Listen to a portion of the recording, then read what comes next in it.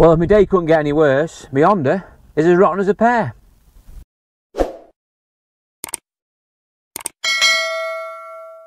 Hi guys, Lee here, welcome back to the channel and you join me today going to go have a look at one of my purchases. It's a 2006 Honda CRV 2.2 diesel four-wheel drive that I bought for £500. Now I bought this off a trader friend of mine, ooh, about six months ago. Uh, he came into the garage one day, he does buy and sell me the odd car, he does trade me the odd car now and then, offered me the CRV. At the time I was a little bit busy so I just sort of look, quick look round it. It didn't seem expensive to me for £500. I went, yep, yeah, no problem, I'll have it. He got parked up round the back and basically abandoned there It's now all the tyres are down on it. Battery's flat. It's covered in moss and all sorts. It doesn't look in great condition. It doesn't look in great shape, and it needs pulling out and rectifying and sorting out. So that's what we're going to do today. We're going to have a quick look round it, pull it out, get it going, hopefully, get the tyres all inflated on it, and then from there we can work out what we need to do to it. Now I can't actually remember what was wrong with this car, why I parked it up in the first place, but now is the time to do it because it's winter, uh, it was really snowy and icy last week, four-wheel drives in winter always sell, the prices sort of get artificially inflated, so this is the perfect time of year to be selling a cheap four-wheel drive. So in a way, probably leaving it for the songs probably helped, but you know, we have that added problem that by leaving it for so long, we may have, have caused other issues, we've been stood still for a while, so we need to see what condition and state it's in and see if we can get it sorted. If we can get it through the workshop, get a list together, go from there, get it for an MOT, we should hopefully have a car that should sell pretty well uh, and make a little bit of money out of it. I think there's quite a bit in this, which I'll explain more in a bit. So let's go and have a look at it first. I'll show you what state it's in uh, and hopefully try and get it running again. Okay, there she is, guys, the, my abandoned CRV. Um, it's a 2006 plate, 2.2 diesel. Uh, from what I remember, it wasn't that bad, but it's been laid up for so long now, I have generally forgot. Lots of moss and leaves all over. We've got definitely got a flat tyre. This side, yeah, she that tyre's uh, ghost. It's gone completely flat, all cracked at the bottom, and the tyre's pretty poor anyway, so we're going to need a tyre on it. A few little scuffs and marks on it. I can't remember the mileage, we'll have to pull it out and see, but from what I remember, it's, it's going to be big. It's going to be 130, 40, 50 foul, I'm sure. If it was low, I'd probably remember, but you know, it is what it is. These Honda diesels are actually quite good. They, um, other than the odd timing chain issue, they're usually quite a decent engine to be fair, don't usually give much jip. Uh, spare tyre on it, it's pretty clean round here, we've got a few little marks on it, you know, scratches and that. A few little touch-ups here, you know, it, it, it's in okay condition for a car that's done probably big miles and and it's just an old an old four-wheel drive that's what for a car that's not 17 years old now going on. It's not a bad little thing. Um,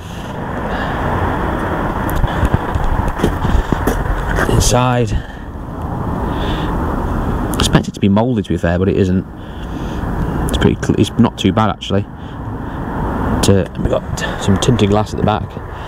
So you'd probably make a car this. Right so we need basically what we need to do with this now is pull it out of there uh, get the jump pack on it, get it started, see if it starts okay. Uh, once we've done that, uh, get the tyre inflated, and just basically, before we do anything, then just go for a quick drive around the yard. We can't go on the road on it, but we can drive around the yard and get a list together of what, what needs doing to it, because I, I, generally can't remember. In my head, I'm thinking might have had a wheel bearing problem or was it an ABS fault? I, I, I, don't know. I can't remember. I'm guessing. So we just need to get it out and uh, go from there and see what we need to do to it. And then we can see, hopefully, we can turn it around, get it in the workshop and hopefully look to get an MOT on it. That, that's, the, that's the outcome we want. Clean it up and then see what we can try and get for it.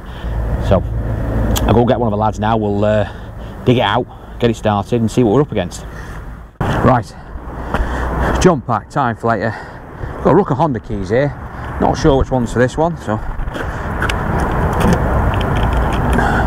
Key number one, a fail. Key number two. Oh, yes, we're in. Oh, God, it smells in here. It's like it's been used for, I don't know, like a gardener or something. I don't know, it's, it's messy anyway, but the seats aren't ripped or anything like that. We've not got looks of damage or trashed interior, it just wants a bloody good clean. But anyway, let's get it going. In fact, let's just, I cannot see this folk having any power in the battery at all. I'll be amazed if it did. No, flat, flat is out.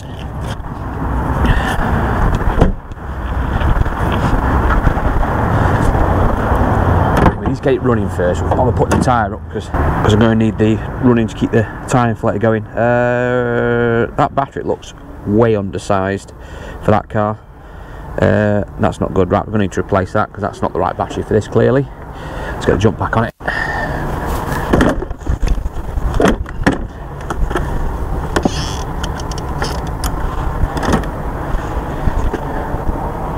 Right, we're on.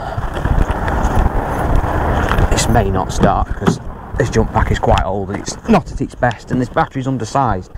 Wow, we've got 166,000 miles. It is diesel and it is a Honda, so it's probably nothing for a Honda. Um, that's more than I thought it was. I thought it 150, but it doesn't really matter to be fair for what it is. Oh, nope, nearly battery's not the right battery for this. This is too underpowered. Let's give it a bit of heat.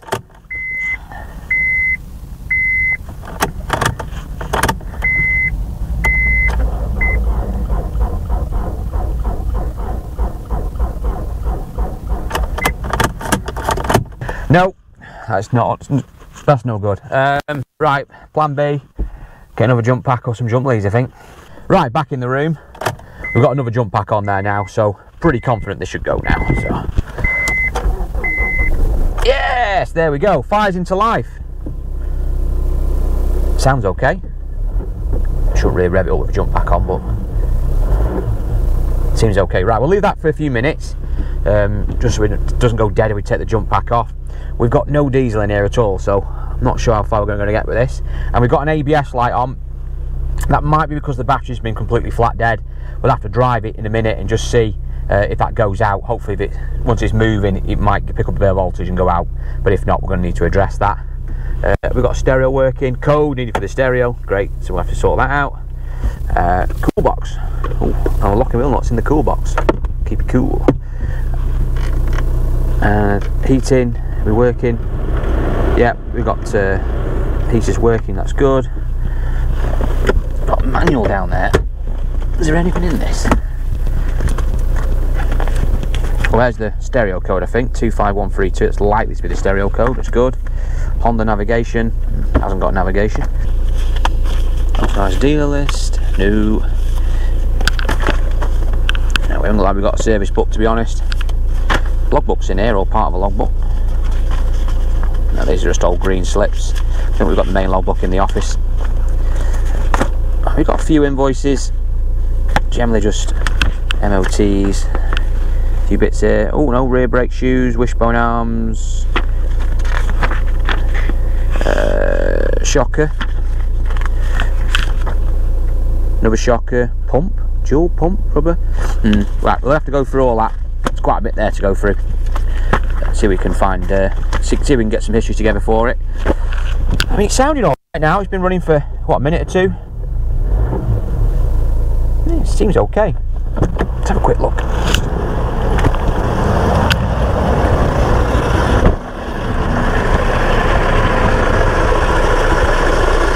Yeah, not too bad that, I think. Usually these 2.2s, they're quite reliable. I've had a few with noisy timing chains, it's quite common. Um, but to be fair, it's very prominent usually here, and that one's not too bad actually. We're getting there, we're getting there. Get away from that noise for a minute. Right, tyres going up luckily. Um, obviously we're going to need to sort that tyre out, that's knackered. But, um, and the battery as well, battery's tainted. But I'm going to go for a run in it first, just round the yard. Uh, make sure we've not got any major faults, like the engine's okay and it's um, we've not got any clutch issues because it's a manual. Do the basics and then we'll look to sort of uh, start work on it, get a list together what we need to do with it and work out uh, if it's worth saving or not. Hopefully it is. So a few more minutes we should have it pumped up. I'm just glad I'm not pumping it. Remember the old days we used to pump them up? Thank God for 12 volt uh, electric pumps, eh? Oh, right. Finally. I like the handbrake here. Good that. Right. Oh, brakes released. God, this hasn't been moving about seven months, I think. Oh, great, can't go that way. Someone's blocked it off. Let's go around this way.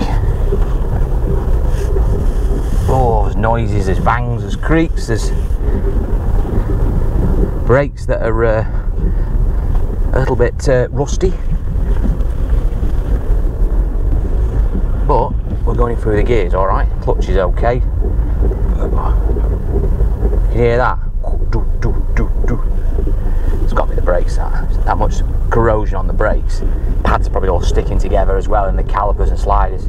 everything's just banging around. Press the brakes now. Listen to this. Oh, horrible. Even the pedal had a bit of sponginess in it then as well, where it's trying to. And in the brake pedal, a bit of sponginess in it then, where it's all sort of pushed against everything. These brakes are probably going to need a good clean up, may even need replacing. Go down here. It's private. It's got private road down here. We can't go on the main road of it, but we can do a few circles. Well, that brake's horrendous. Going over the poles there. I've not really got much suspension noise I'm hearing. It's just all brakes. You're just hearing that rotation going round of constantly catching. ABS light's not gone off. I'm not surprised to be honest. Um, getting a little bit better as I clean them up. To be honest, I'm going to need to drive around this and just um, keep hitting them brakes. Got a little bit of notchiness in the steering. Um, so we can just demonstrate that. Move it on lock to lock. And a little tiny bit in the column there. Um, have a quick look at that. Uh, not too bad. It's not much play in the actual rack itself. It's just notchiness in the column. So as long as it hasn't got excessive movement, which it doesn't look like it has, you'd still get through an MOT with that without having to change it. But you know, it's um, it's just annoying, really. But little, you can hear that or not. It's only slight, but uh, I don't really want to be putting a rack on this if I can help it. So what to say about it? Well, I can't really go on the road, so I can't really get a full assessment, but I think it will clean up all right. I mean, I can sort the brakes out. Brakes are nothing. We have to put new brakes on. It's not the end of the world. ABS lights on. Might be the battery causing the fault because the battery is not right for it, wrong size, and clip terminals aren't on properly. I suspect it's probably an ABS sensor. So you know, I mean, that's not the end of the world either. It's not, it's not exactly a big, big costing. Um, I think really what we need to do now is is get a battery for it, source of batteries. I might have an old used battery around that will just do the job for now temporarily until we get it fixed, and then we can put a new battery on it and all that. Um, and then get it in the workshop, get it up in the air, check underneath because we need to make sure we've not got any corrosion or anything like that. Or we have, we're going to have to deal with it and work that out. Um, jack it up and give it a shake as well, see what's going on with the suspension, and then try and get a list together of what's definitely going to need doing to it and what the likely costs are going to be and what we think and what I think we can possibly fetch for it. Because I'm only sort of guessing at the moment what it's worth but I mean I've got an idea of about 1500 quid in my head as a, as a ballpark minimum. Let's get it on the ramp get up in the air and make sure it's not got a rucker tin worm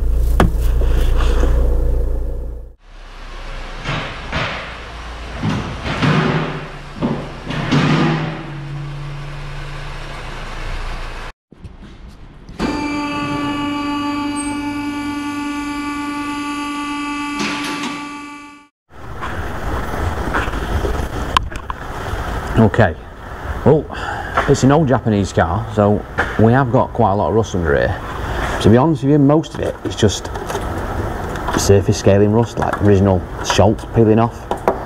The only bits I've sort of found that are, look at that there, it's just like top layer.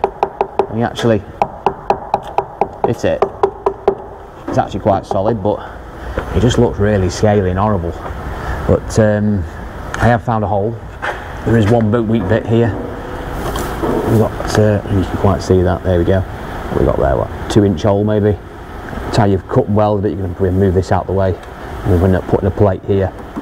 Um, that's pretty much all I've found to be honest. I mean the rest of it's just, just wants, just scaly and brushing, but it's solid underneath. Um, that's the only bit I've found really on the welding side. Um, and it's not too bad, I don't mind doing a little bit of welding occasionally. Even the diesel cat on this is, all the shields gone and someone's put a clip round it so it's rattling. It's not a particularly nice thing this, the steps are all a bit crusty as well, but Again, they're not structural, it's just part of the stepping area. Mm, we want two tyres definitely. That one's knackered, it's gone down anyway, so that's been driven flat probably, so it could be knackered. And also the treads uh, on the bars, same this side, that's on the bars as well, so we're not putting two tyres on it. Uh, quickly jack it up, I think.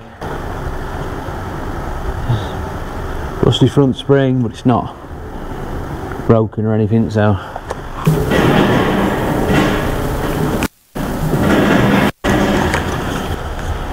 to be honest the front end's pretty solid, to be fair. I mean, rusty spring on the opposite side, tyres are knackered, brakes are clearly uh, need cleaning up badly. They've not got much of a lip on them actually either. They've, they've not been long put on. They've just been left for so long, they're just obviously crudded up and they just need really to sort of drive around for a few miles really just to clean them up. So I think that's probably what we'll do with that, put some diesel in it. We just have to keep driving around the yard until we get them cleaned up and hopefully then once we've done that and we've got the faces clean, strip and clean them properly then uh, we'll see how we go. If not, we'll have to obviously budget in disc and pads for it. But we definitely need tyres. We definitely need to do plate welding. Um, we need to do something to tidy up that underbody really. I mean, it's all surface corrosion. I don't know how far you want to go with it. We could try and brush it up a little bit. Why brush it and maybe Hammerite it, flick can it Schutz it, just make it a bit tidy maybe. Is it worth doing? I don't know to be honest on a car this age. You expect rust, it's already set in, so I don't think it's going to make much difference sort of structurally. It's probably only just going to make it aesthetically look a little bit better. I'm not sure where to go with this one. I think we need to establish its value, uh, where it sits in the market now. Uh, and once we've done that, work out if I'm going to repair it and get a rough idea of costings. So I'll go and have a look at that now uh, and join me in a few seconds. Right, so I've looked online, been looking at the numbers, I've had to establish two things. One is what we're going to get for this car, and the second one is what's it going to cost. The first thing we looked at obviously was the values. To be honest with you, pretty on the ball really with the value. I did have a look on the trader, look on eBay, stuff like that, just to get some some pointers. And to be honest with you, 1500 quid, which is what I mentioned earlier, is about right for this car.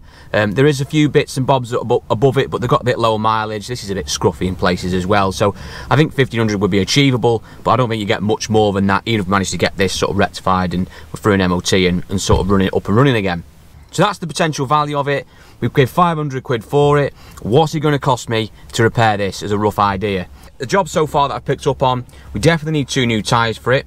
We definitely need a Rucker welding doing. We definitely need a new battery because it's not the correct one for it. Um, and I haven't got, unfortunately, I haven't got a used battery lying around either that will fit the job. So I'm going to to put a new one on it if I do obviously go to sell it. Uh, we need to put an ABS sensor on it. Um, I've scanned it, it did come up with an ABS speed sensor on the near side front needing sourcing out, so it's probably a dead sensor on it, so we're going to have to address that as well. Obviously we're going to need to service it, um, we're going to need to sort the brakes out. The fronts are okay as in they'll clean up, they're actually starting to clean up alright. I think just driving it around will clean them fronts up and then give them a proper strip and clean, that will probably resolve them. However, when I had it on the ramp, I actually looked a bit further into it later on, and I actually noticed that one of the back brakes, the driver's rear, is completely seized solid. It's actually the pad is jammed in on the disc uh, and the pad is actually gone right down to the metal. Now that's probably happened because of one or two things. Number one is either the pad is actually stuck in the carrier so it's got all fouled up, it's stuck in the slat in the carrier and it's just jammed against the disc and sort of worn it down. Uh, the other one is potentially a caliper's actually seized up because the pad on the near side is absolutely fine. It's got loads of meat on it. It's, it's the driver's side that's defective uh, and causing that problem and it's gone down to the metal. So it's had one of those two things, probably a seized caliper. They're very common on these calipers seizing up on the rear. So, you know, we have to factor that in as well. We could be definitely going to need to put rear disc pads on it. And then obviously we're going to have to put a rear caliper. And then obviously once we've done all that, we've got to address that major issue, which is the welding. Um, to be honest with you, looking at it further, it's quite a lot. Um, now it's doable, don't get me wrong, but it is a lot of welding. I mean, and you've got to work this all out cost-wise. Tyres are going to be probably 80, 90 quid for a set of tyres, another 80 quid for a half decent battery, because um, a diesel is quite a big battery it uses on it.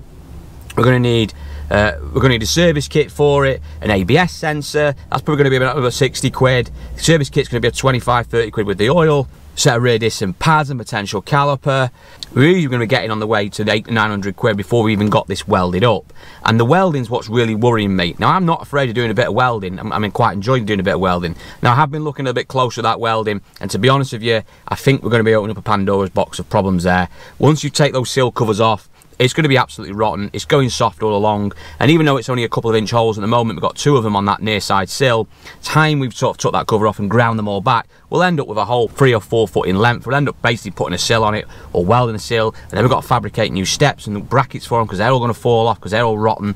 And also, looked a bit closer, and the fuel tank itself, the clasp shield, if you like, that holds it all up, that's all rotten away and fallen away as well. Uh, and that's obviously could potentially be quite dangerous because it makes the tank not secure. It, it's just not in good shape. So then we've got to sort out that fuel tank issue, getting it all secure back up properly. So we'd have to sort that fuel tank issue out. And then by the time we welded it all up, I mean, we could easily spend a day and a half doing all the welding on this. And at the moment, I really haven't got time spending a day and a half welding. In fact, if I was going to spend a day welding anything at the moment, it'd be my recovery truck, which has been off the road now for about a year. Um, I mean, we're constantly welding it up, doing bits and bobs in between jobs. So I'd rather focus my efforts on doing something like that than trying to weld this up. Even though there'd be a bit of profit in it, even if it ended up costing us a grand, we still have about £500 in it. It's a lot of work just to get uh, you know a reasonable margin which we can get out of most cars we sort of get in anyway. Um, basically what I'm trying to say is there's probably better cars to focus our energy and attention on rather than this because this thing is quite badly rotten. And you just know once we start working on this there'll be other things that will come along. It'll turn into a bigger list more expense. It'll be around for weeks or months. Really haven't got the space at the moment so it's probably not the best car at the moment to be tackling. So I've decided even though there is a potential margin of profit in this it's just not worth getting involved with. To be honest with you it's absolutely pointless it's just going to cause a massive headache for me going forward. It's going to slow me down, take up more space, and it's been here for six, seven months anyway, taking up space. So in effect, we've probably lost money on it anyway because it's took up a space for something else that I've not been able to take in or stuff that I've got other places that needs to be brought here. It's just, there's a massive space issue I have at the moment. I need to clear some of the dead wood, uh, and I think this is one of them, to be fair. The, the plus side of it is the scrap value. I actually put this in a couple of comparison sites, and I got a quotation close to £450 from one of the comparison sites on there. So I thought, do you know what? For 450 quid. It'll free up some space. We get some cash back in uh, and we just move on. You can't win them all at the end of the day, guys. You know, we, I don't buy every car thinking I'm going to get money out of it. I have to accept sometimes that they're going to buy something that's going to be a lemon or it's just not what is your first thought. But it just goes to show how quickly the numbers can go against you. Things can get out, the budget can go out of control. And if you start going down that route, all of, all of a sudden you can find yourself spending lots of money and basically getting nothing back and losing a lot of time in the process. And your time is valuable at the end of of the day as well. So this is not one for me. I don't think there's any real other opportunity for it. I don't think putting in auction is going to get us any much more money because it's got no MOT. Uh, I don't think it's worth putting on eBay. I had, a quick look on their spares and repairs. They're doing 600 quidish mark and then you got to take fees out of it. It'd just be easier just to get rid of it and just scrap it and just move on, free up a little bit of space. So unfortunately, this one, guys, reluctantly, it is going to scrapyard in the sky. Um, it's not for me. To be fair, this is the first one I've had on the channel I've actually lost money on. You know, it does happen now and then. You know, I, I, it doesn't it doesn't really bother me that much because the others make up for it. But I'm really, it's lesson learned. I should have dealt with this months ago, realised what the situation, what the car was, and got rid of it early on. So thanks for watching this one, guys. Uh, please check out my other videos. I've got new stuff landing every week. Please like and subscribe if you haven't already done so, and I'll see you all very, very soon.